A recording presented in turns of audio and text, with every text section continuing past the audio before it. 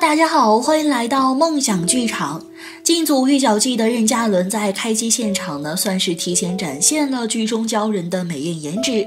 本来就很出彩的眼睛，在经过妆发的修饰后，确实增加了些玄幻的气质。自嘲一年工作三百六十六天的任嘉伦，绝对称得上是内娱劳模。去年在春节档收获不少剧粉的《锦衣之下》，也算是任嘉伦事业的转折点，瞬间跻身一线。已婚已育男明星也能够稳坐流量小生的位置。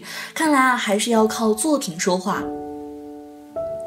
之后在进组的空隙当中接了几个综艺，新歌发表和晚会活动几乎是一个不落，保持着超高曝光度的任嘉伦自然提纯了不少剧粉，既没有炒作 CP 的后续问题，也没有粉丝担心塌房的顾虑，找上门的影视资源呢，让任嘉伦有了更多的话语权。直到大家期待已久的《玉角记》开机，看上去有些消瘦的任嘉伦很快就进入了角色。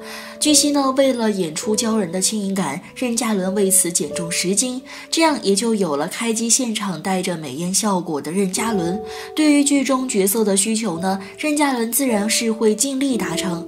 不过剧方对这位男主的态度却是不尽如意。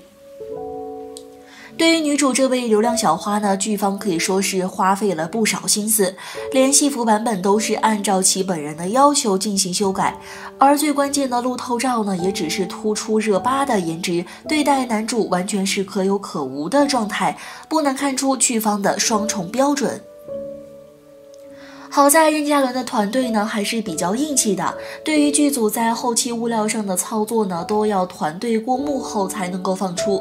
为剧瘦身的敬业态度，足以看出剧方和任嘉伦的不同格局。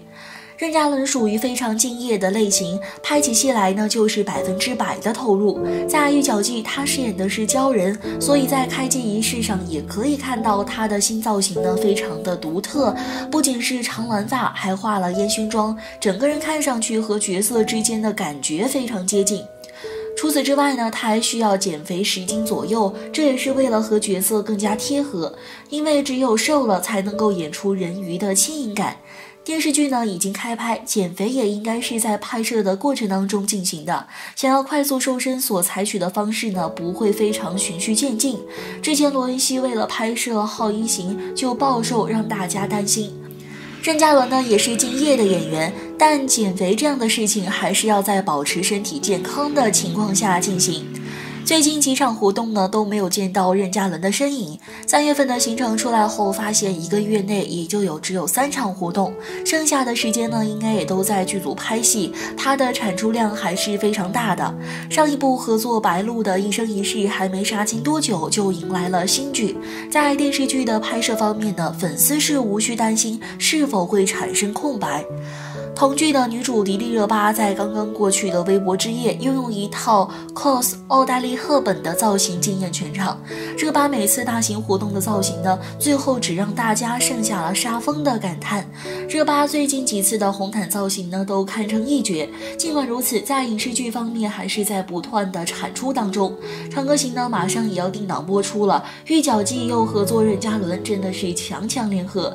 除了电视剧的拍摄呢，两位在这个合作之外也会有其他的拍摄活动，届时呢也是以双人形象亮相的，也算算是为电视剧作为宣传。《御角记》又是一部爆款预定了，大家期待迪丽热巴和任嘉伦合作的这部电视剧吗？